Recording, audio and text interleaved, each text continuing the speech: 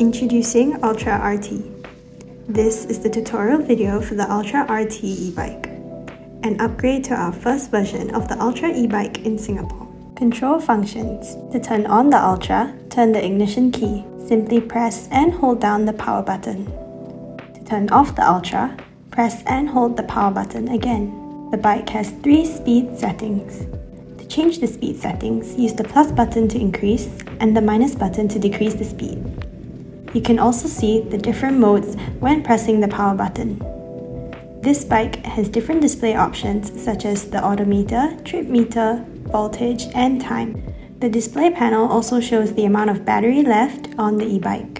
Charging. On the side of the battery, there is a catch that you can spin away to reveal the charging port. Alternatively, you can also remove the battery to charge it away from the e-bike. To do this, unclamp the latch and remove the seat post. Turn the key into unlock. Now, turn it further anti-clockwise. The golden latch behind should retract into the battery. Lastly, pull the battery out. To see how much battery is left, there is a power button on the battery to check. Folding. First, unclamp the latch and adjust the handlebar. Next, bring down the handlebar's height to its lowest. Lastly, press the red button to unlock the latch to fold the handlebar downwards. Special functions.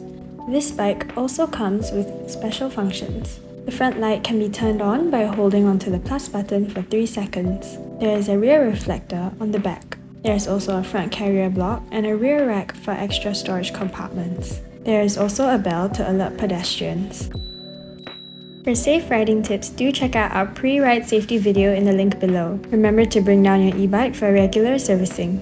If you have any questions, feel free to leave a comment down below or head down to any of our MOBOT outlets today.